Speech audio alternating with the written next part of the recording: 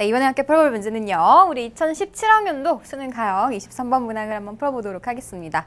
자, 문제 좀 살펴보면요. 부등식을 풀어야 되는 그런 상황인 건데 지금 보니까 지수에 지금 우리가 구해줘야 되는 미지수 x가 포함이 되어 있는 어, 지수 부등식을 푸는 문제가 되겠네요.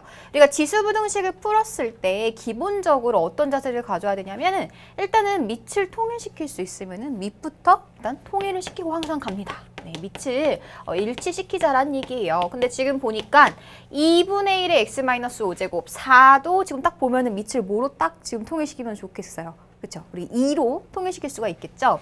그러면 지금 2분의 1이라는 것은 2의 마이너스 1제곱 이렇게 표현할 수 있을 건데 걔 x 마이너스 5 얘가 4는 2의 제곱이다 이렇게 줄 수 있겠지 그치 그러면 우리가 지수 법칙 적용을 해주면 얘는 2의 마이너스 x 플러스 5가 얘가 2의 제곱보다 크거나 같으면 될 거고 밑이 지금 1보다 큰 상황입니다 밑이 1보다 크면은 우리 지수함수 2의 x제곱꼴 어떻게 생겼었냐면 이렇게 생겼었어요. 그렇죠? 그러면 x값이 클수록 x값이 클수록 y값도 어떻게 되는 거니까 커집니다. 네, 그래서 부동호 방향을 그대로 유지시키면 되는 거기 때문에 마이너스 x 플러스 5, 요 지수, 요 값이 2보다, 요 지수 2보다 크거나 같다 얘를 풀어주면 된다는 거겠죠? 그렇죠? 그래서 어, x의 범위가 어떻게 되는 거니까 3보다 작거나 같다 이렇게 나오는데 문제에서는 모든 자연수 x값의 합을 구하라고 했으니까